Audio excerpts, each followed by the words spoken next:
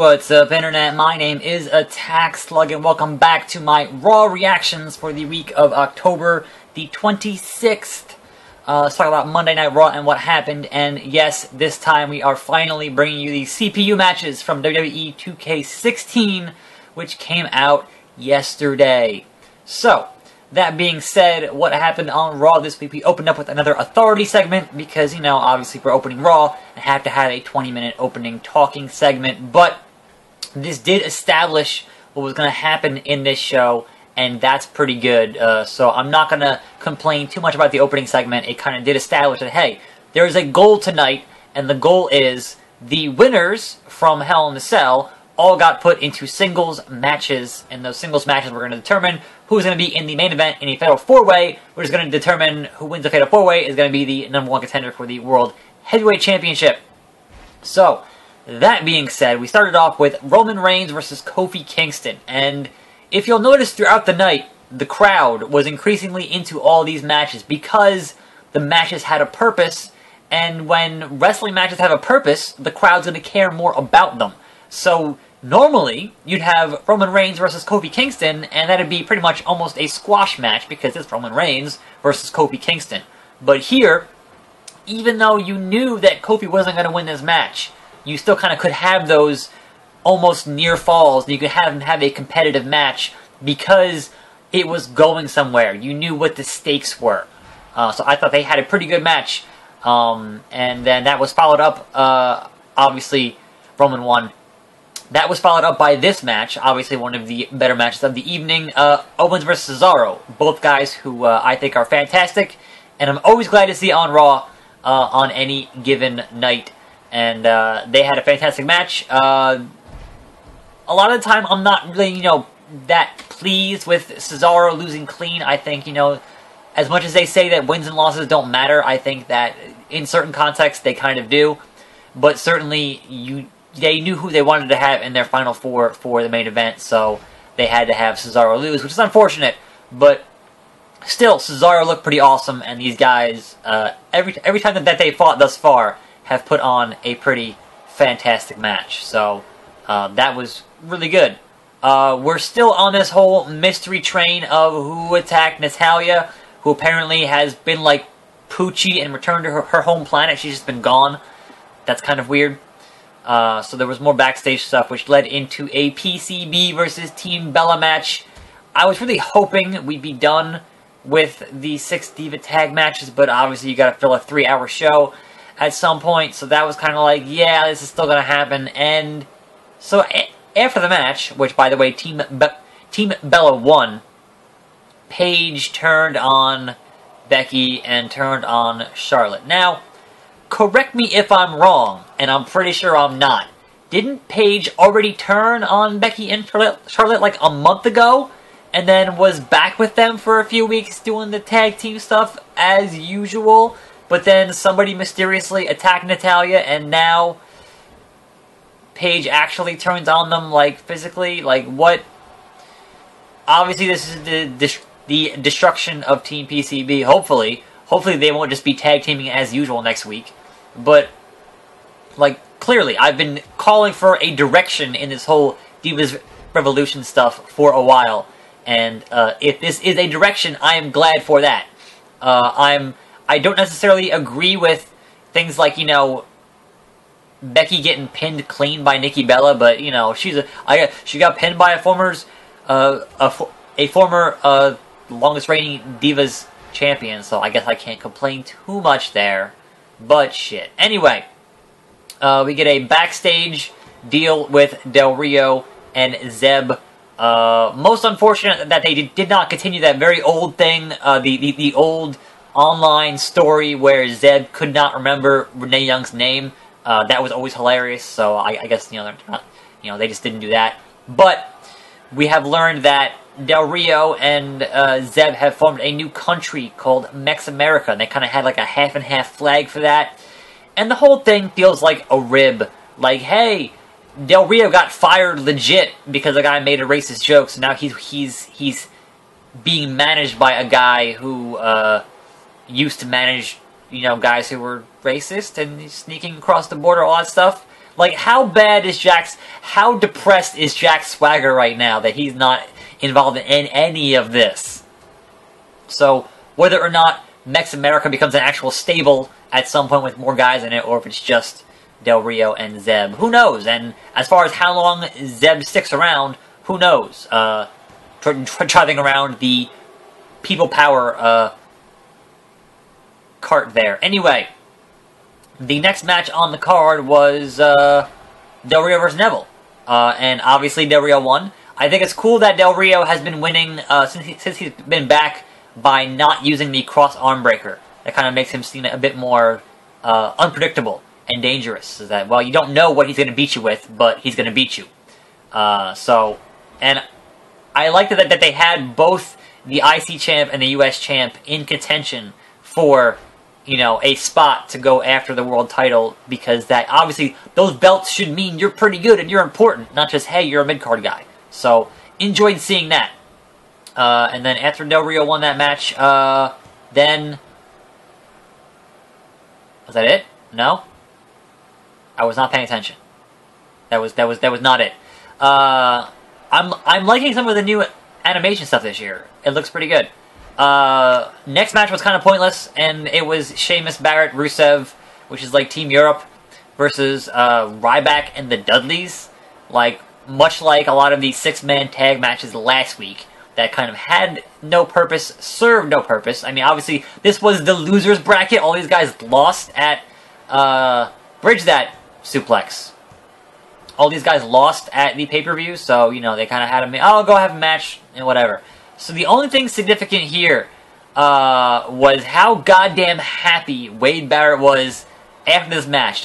To, have won a match, Wade Barrett was so happy, uh, and that's always good to see. So, after this, uh, we had a Bray Wyatt promo, and I have certainly had my issues in the past with Bray Wyatt promos. I think they'd be more effective if there were less of them.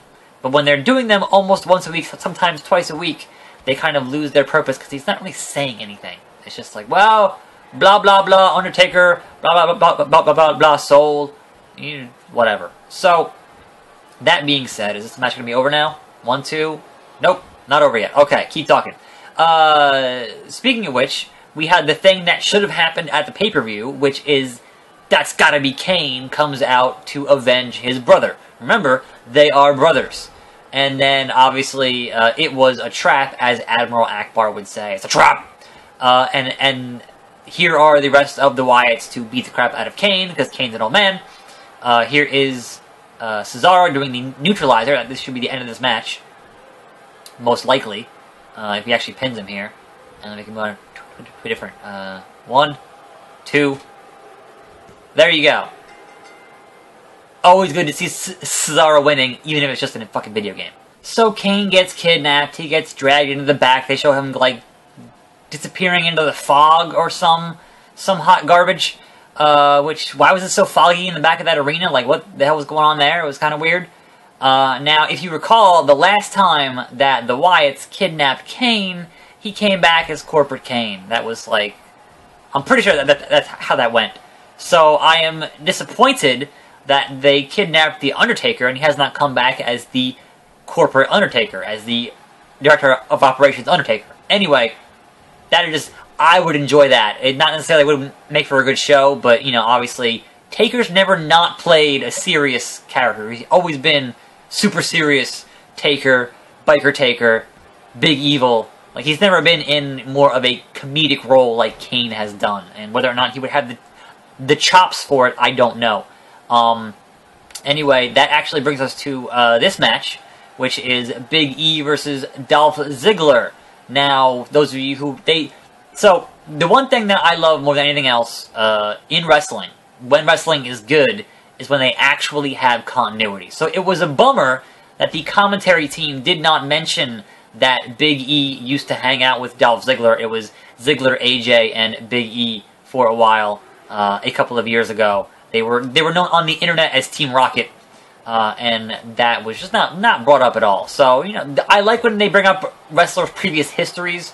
Uh, you know, when they're uh, fighting against each other. But anyway, uh, Big E fought Ziggler in, in, in, another qualifier, and at ringside was Tyler Breeze in his own little section with chairs and Summer Rae, eating grapes. He didn't like do anything in the match. Just kind of he, wasn't on commentary. He just kind of sat there uh, as a distraction, I guess. Anyway, Dolph Ziggler wins because of course he does, and he moves on to the main event.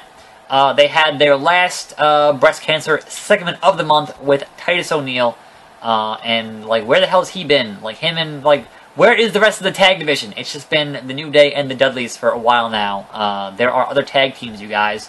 What happened? Uh, we had a backstage segment with uh, the Miz, who's been playing the this game all night, and then out comes Austin, and apparently Austin can magically make your voice disappear when he when you when you when you attempt to cut his catchphrase. Uh, now, whether or not they filmed that last week when he was actually there, or they flew him out for that one fucking thing, I don't know. Uh, but they were certainly pimping the game all night, as they do uh, whenever the game comes out uh, each and every year. Although, obviously, when the game comes out, they can't show too much from the game because all these outfits are outdated. Dolph Ziggler wears pants now. Big E has different colors, and, and so does Kofi. Like, there's so much stuff that, like, I couldn't even like if I wanted to give you the main event and show you to you in the game, I had to go and make Del Rio because Del Rio just came back, obviously not in the game. I couldn't put in the match with the Dudleys because they, they, they just came back. I you know so that's that's a, that's a matter for DLC. That's a matter for the my creation studio stuff in here that I you know haven't had time to get into yet because the game came out yesterday. But that is what it is.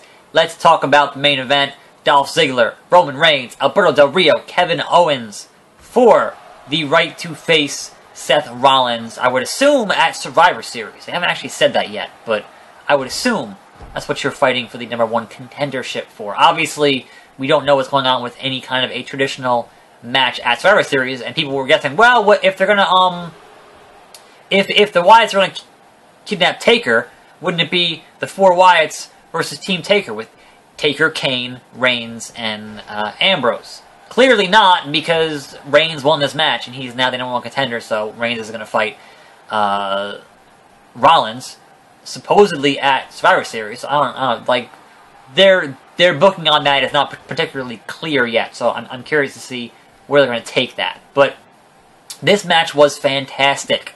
All these guys just going at 100%.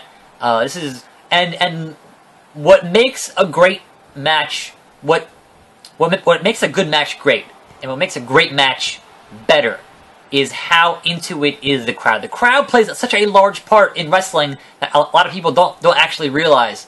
And because you gave such a simple setup, hey, these four guys are going to qualify, and then whoever qualifies is going to fight Rollins, then the crowd was into it. They were engaged over the course of a three-hour show, and obviously, anytime you keep someone's attention for three hours is a fucking feat in 2015. So, crowd was into it.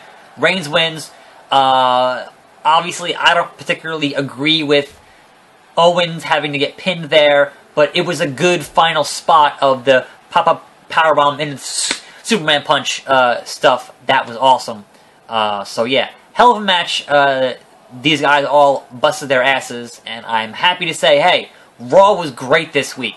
Uh, after the match ended. We had a stare down because they had they had Rollins on commentary, and so there was a little stare down there. There was no punches being thrown, but they kind of just you know kind of did the thing, and he did the thing, and and so yeah, that's that's going to be our story going forward. Now, obviously, there are some some folks on the internet who are not particularly pleased because of what happened with Roman Reigns from, you know, earlier in the year, from the Rumble to Mania, where they were just like, no, this is Roman Reigns, blah, blah, blah. And, and certainly, I can understand that frustration when they sent out Reigns in the opening segment to talk, and you should not let him near a microphone. If you want to get him better at being on the microphone, let him do it at house shows. Because the crowd wants to like Reigns. They want to. And when he's being awesome and punching shit, that's great. When you let him talk, that no, it just doesn't, it all falls apart. So, less talking, more punching, and I think uh, certainly folks could get behind Reigns if they're going to get the belt off Rollins at the next pay-per-view. I don't, you know, know if they're going to go with that, if they're going to actually pull the trigger on Reigns just yet. And if we've gotten past our, you know, annoyance at him being the golden boy and the chosen one, etc., etc. So that was my thought on Raw. Uh, I enjoyed Raw, and I'm always glad to have enjoyed Raw. Uh, and because when wrestling is good, it's fucking great. But so many weeks they just don't. They, they're on a fucking treadmill and then it's not going anywhere, and that's just frustrating. So. That being said, it's my Raw reactions for uh, October the 26th. I am your host, Attack Slug. Look forward to plenty more 2K16 videos right here on this particular channel. And I will see you next time right here on this channel. And Biggie wins. And I'm out.